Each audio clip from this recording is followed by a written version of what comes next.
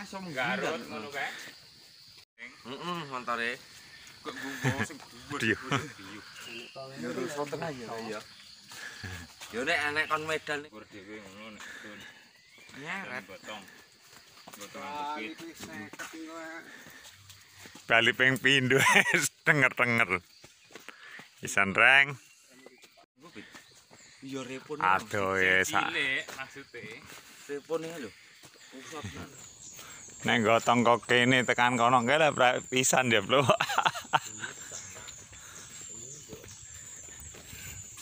Sekilo setengah mlakune. Ini anu Iki mas tok lho tok isi antuk pundak iki lho. Kuwana dangon nek nggon anu ploso ngendi kae? Randu kuning iki.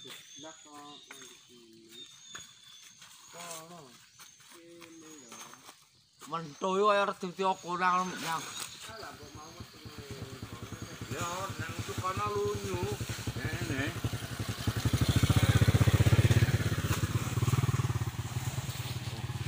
Perjalanan menuju lokasi sampai 2 kilometer belum sampai. cedak medun to. Cedak ngendi, Mas?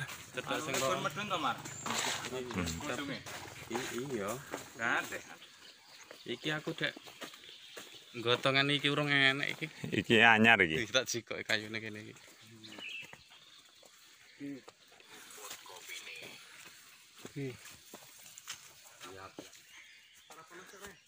Wah, yo genah nek sarapan. Iki sarapan sik jenenge iki.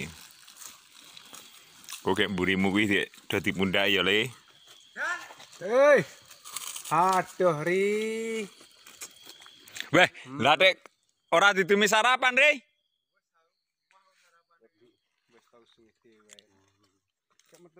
Mas Gareng jindil. Aduh yo. Mati anu kita sugeng to. Oh iya. Oh, Mbah Dukun to. Waduh, suka tak pengen ngojo banter-banter, Mas.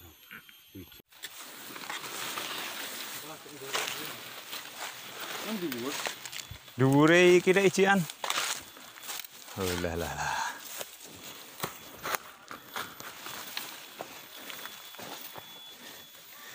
Mbah Gareng iki. Pengambilan kayu yang cukup ruwet jalannya. Banyak lubang. Lubang emas Uluh kok kene iki namati kono ketok kabeh. Weh. Lah kene ati gotong metu ngendi reng?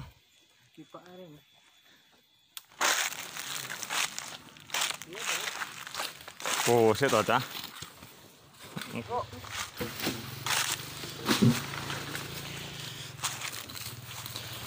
Glimpang nyang ndi? Ono wis bebas. Rono, Ono. kenceng. Aduh, kan. Wis duduk ning dalan lah. Inilah para buruh-buruh masih muda-muda ini. Ini kayu. Aku bagian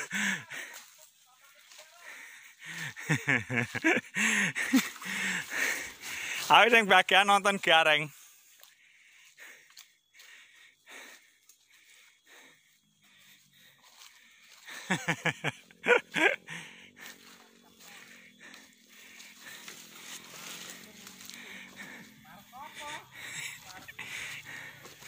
Mindoni reng.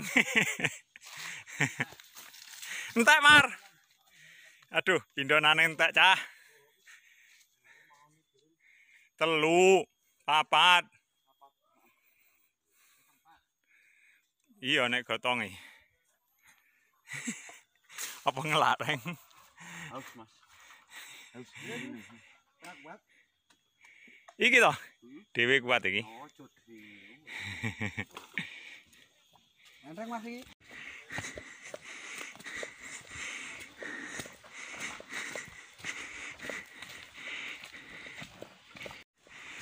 Gotongan kayu paling jauh. Jaraknya hampir satu kilo dari tempat pengambilan. Wedian Sumar.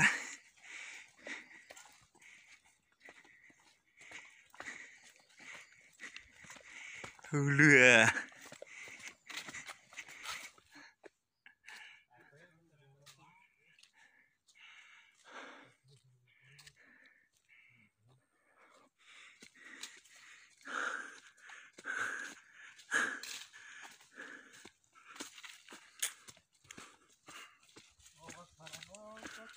Oh, sing cendak.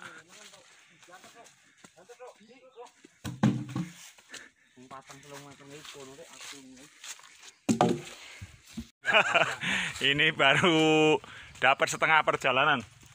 Masih mengulang besok lagi. Ini kira-kira jauhnya dari tempat pengambilan sampai sini ada satu kilo lebih, mungkin sampai dua kilo. Dan jalannya sangat rumit.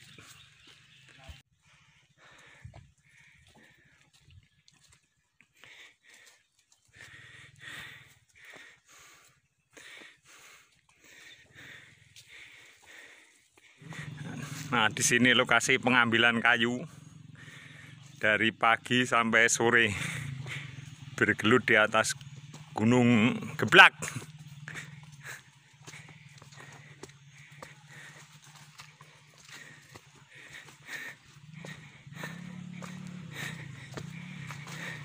Gotong 6. Ada berapa meter mas panjangnya mas? Dua nih, Kak. Dua. Setengah.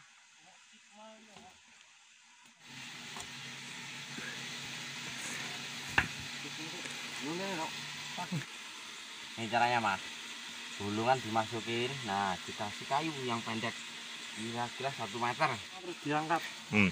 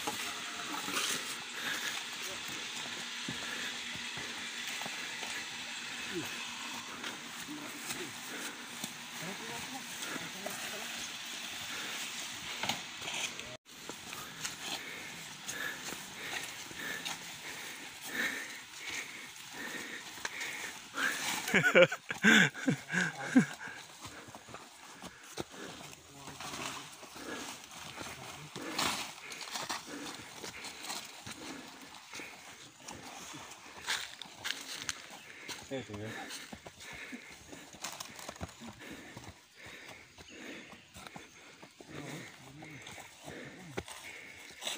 いいか